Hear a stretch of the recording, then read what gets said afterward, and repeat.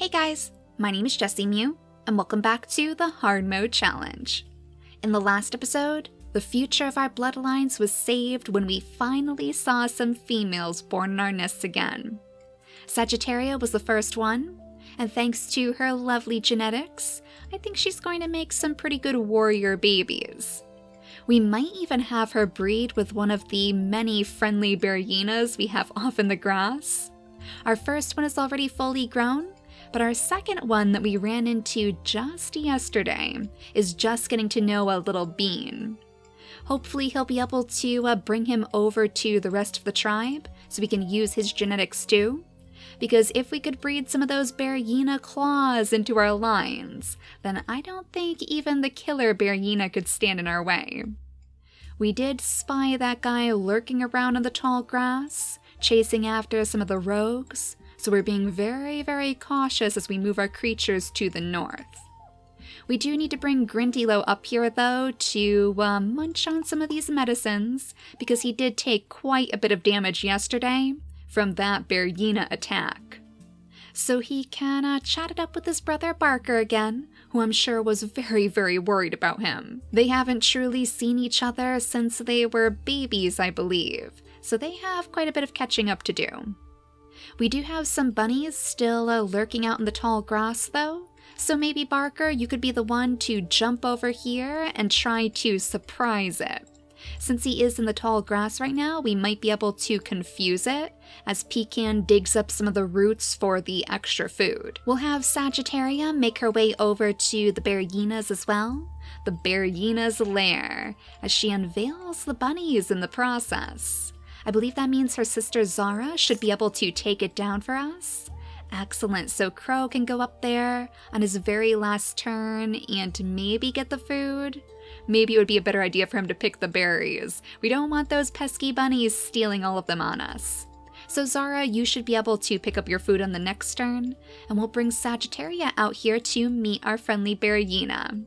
So even though we can't see the friendly Bearyena's genetics, we should be able to still get some healthy babies out of them. I don't believe it's immunity genes F or D that Bearyenas typically carry, so their babies will be strong and they won't have to worry about any illnesses either. If they have enough babies, we will definitely bring some of them down here to uh, pick up those fish. I did see one of those clown kois scooting around very, very quickly.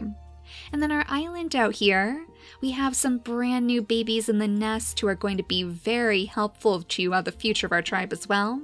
We have our Lilo with the claw, our very first clawed creature since the founders themselves. And then Piper, who was thankfully blessed by the Balance Sisters, so she should be able to help her father and her uncle pick up the acorns. Maybe she'll even go out and try to find her own tree to set up a family. We do have quite a few littered around the island that she could use. So in the end, that's just more food for us to pick up. And since we don't have too many acorns under this tree anymore, I think she would be looking for a place where she could provide more for her own family. We do want to make sure that Leo has a baby before he passes away, though, so let's set up his mutation menu in the exact same way as his brother. Since they are identical twins, that would probably make the most sense. We'll want to move our Lilo out of our permanent nest, maybe over to this side, and hopefully he won't catch the attention of any uh, lurking leeches. I think he should be okay, because so far they haven't been too interested in attaching to our creatures at least not the ones over here. It's almost like there's some sort of protective force around this island. Maybe it's the family tree watching over them, who knows. But we just have a you back here with your extra turns, so I guess since the bunny seems to have hopped away, you might as well just pick up your grass. That way uh, nothing can spawn around you in the meantime. And then we'll go ahead and skip the day. Watch after all of our Bearyenas, of course to make sure that each and every one of them left is still friendly. Thankfully, the one that's fully grown has decided to wander his way over to the nest, and just in time to uh, hopefully breed with Sagittaria too. So we have already placed the claw inside her mutation menu, because we definitely want to see that on more of our babies. But we should probably also try to remove the short-sighted gene, just so that doesn't end up getting spread all around our tribe. I'm sure any babies that come out of this pairing are going to be uh, very highly regarded. We'll want to make sure that their families continue so we can send our little hybrids out for war. If you can't beat them, then join them. And Sagittaria is taking that very, very literally right now. We do have another baby on this island though, so let's hope that she has the uh, nimble fingers. Oh my gosh, and a gorgeous mask too?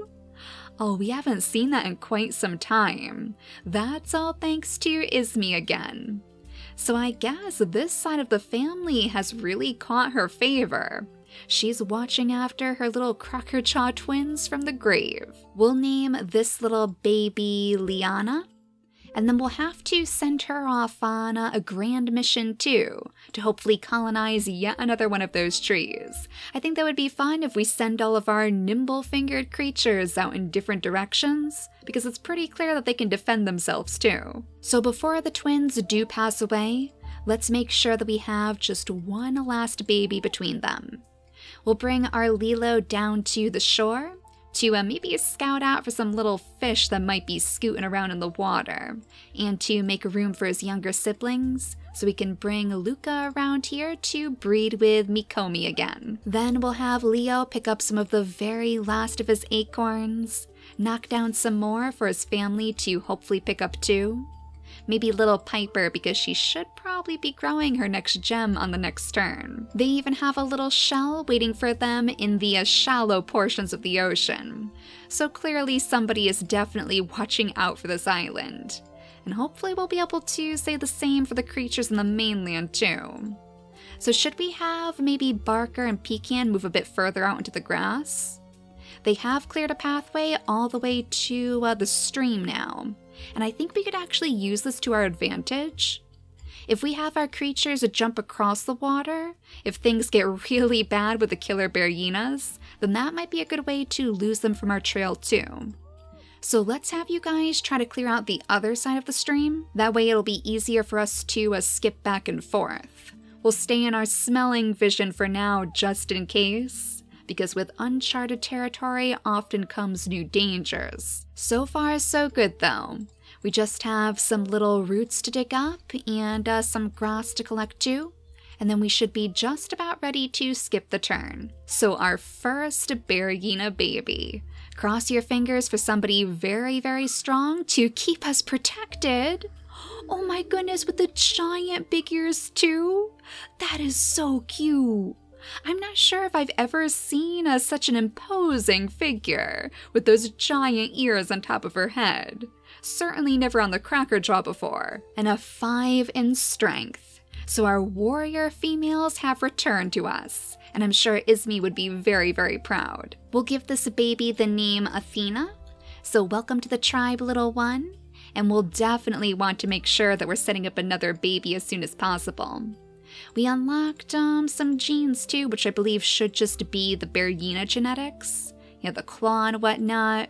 So we should be able to uh, use that to our advantage too. Hopefully our other families who aren't quite as lucky with the Bearyenas, like you guys back there, maybe they'll be able to uh, put some Bearyena genetics into their lines as well oh, this is not good for you. I had a feeling that if anybody was going to attract the Bearyena's attention, it was definitely going to be them. But this is a good way for you guys to show off your strategy. Pecan, who is much weaker than his brother Barker, should be able to uh, jump the gap here, jump across the stream to get to safety. And thankfully, because the stream is shallow enough, he doesn't take any drowning damage in the process. We'll have Barker go ahead and land a good swipe on him, though, and then hopefully do the same. It would actually be a good thing if the Bearyena starts to chase them back to the tribe, because then some of our stronger creatures can lend them a hand. On their own, they probably wouldn't be able to uh, take the Bearyena down, so let's bring Grindylow up to the north as well. He knows all about attacking Bearyenas, so he can lend them his experience. Now, Sagittaria, you can uh, finally breed again with the Bearyena. And then we'll want to make sure that this uh, mole isn't looking at you, Zara, as you hopefully try to scoop it up. I think this side would be the safest one for you to go on, so you can sit high atop the bunny burrow as you scoop up the mole from behind. We are starting to run a little bit low on our food supplies again, so we want to make sure we have what we need to support our new babies. Bean is a little bit preoccupied at the moment as he tries to continue luring the Bearyena up toward the main tribe. So far it seems to be working. The Sparagina has definitely taken a shining to little Bean. He's pretty good at making friends with the wildlife. And now our final baby of the Crackerjaw line. It looks like she doesn't have the claw, so she is a little bit weaker than her siblings, but she does still have the nimble fingers, so she could also set up underneath one of those very distant trees. Maybe in fact she would want to have our Lilo come with her, so he could at least protect her with his claw. But we'll name this little baby Biba, and then we'll get to work sending all of their daughters off to the mainland. First, they'll need to just prepare for the journey, make sure that they're strong enough to jump across the waves. So we'll have Piper go ahead and pick up what acorns she can, as Mikomi picks up her nest and sits next to her daughters to make sure that nothing picks them off either. I suppose our Lilo could be the first one to set his feet in the water and then jump back up to dry land so we can scout ahead for his sister. We'll have Liana make her way out of the nest too to sit next to her big sister Piper because something tells me she would want to uh, crack open the acorns with as much skill as Piper can. She probably wants to be just like her big sister when she grows up. And we should be ready to skip the turn too. So let's see if our second Bearyena baby is going to have just as much luck as our first. Oh, that cracker jaw again. That looks so cool with the big ears. And she has the claw too, instead of her mother's digging paw. So I guess that means that our mutation menu worked in our favor. How strong is she actually? A 6 in attack strength? Alright, that is exactly what we need to uh, help you guys out. So let's see how much longer the Sparagina has on his lifespan. We have 11 days. So I think you guys might actually be able to take the Bearyena down entirely. If we have Barker use his last turn to swipe the Bearyena again, then we'll scoot Pecan over to the side to make room for Grindylow, who can really lay into the Bearyena too. Then Pecan, you can use one of your turns to swipe one last time at the Sparagina and then pick up all of that delicious meat for your family. Just enough to uh, keep us alive. In fact, I think we might actually want to uh, hold off on having some more babies for now, so we can set up our families under their trees and increase our food stores first. Then Sagittaria can train her little army of Bearyena hybrids in the meantime. We'll bring Athena out of the nest, take her first steps out into this uh, dark and gloomy world. We'll have to figure out where we want them to head off to as well. With their cracker jaws, they could also uh, pick up those acorns. So maybe we'll have them move toward this tree. And then uh, Piper and her family, well, that tree's kind of far away for them to get to, but I suppose that could be their family's goal. The more ground we cover, after all, the easier it'll be for us to gather up the food that we need. Oh, and look at that. It looks like our Bearyena is actually um, making his way across the stream too. Maybe you want to follow your friendly Bearyena little guy? It seems like he may have found something. Oh, look at this. He must have actually taken down a Dodomingo.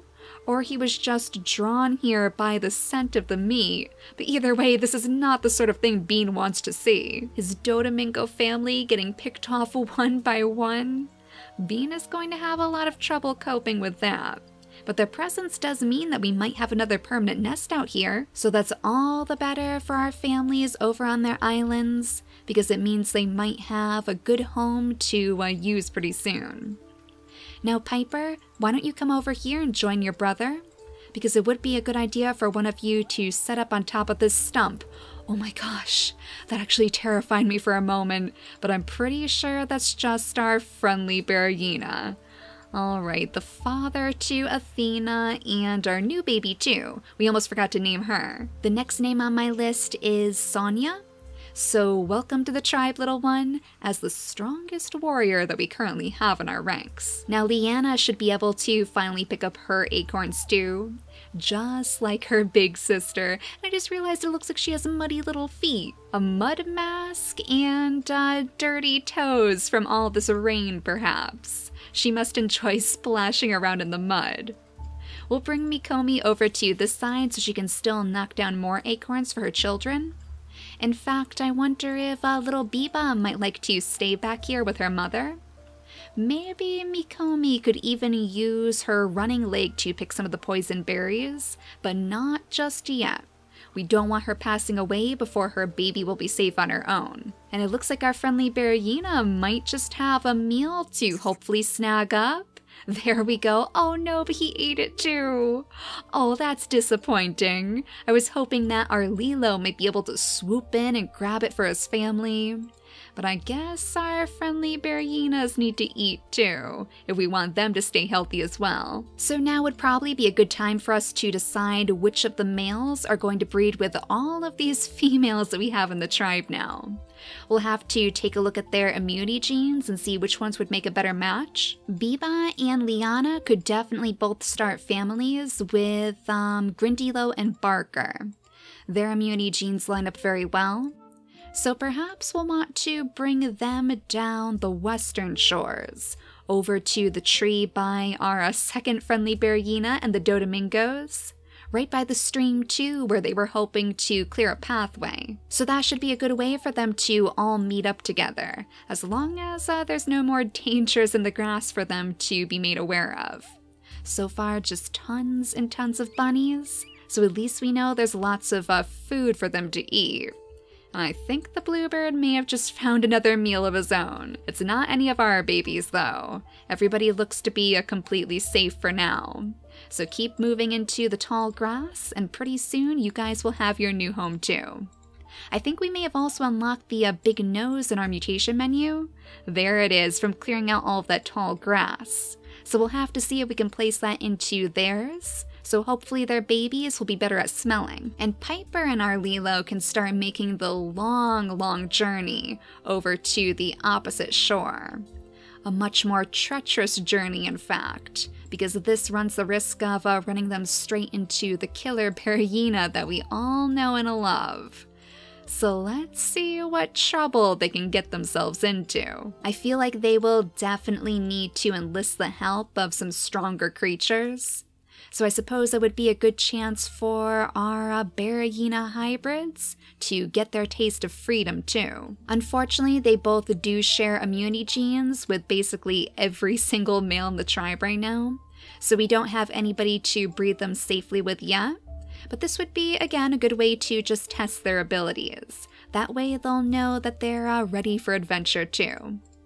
Sonia is going to take a little bit longer to grow up, so we'll bring her down here to uh, watch Sagittaria pick the berries, make sure they all have enough food for the journey, and then we might bring uh, Zara down this way to pick up some more of those roots.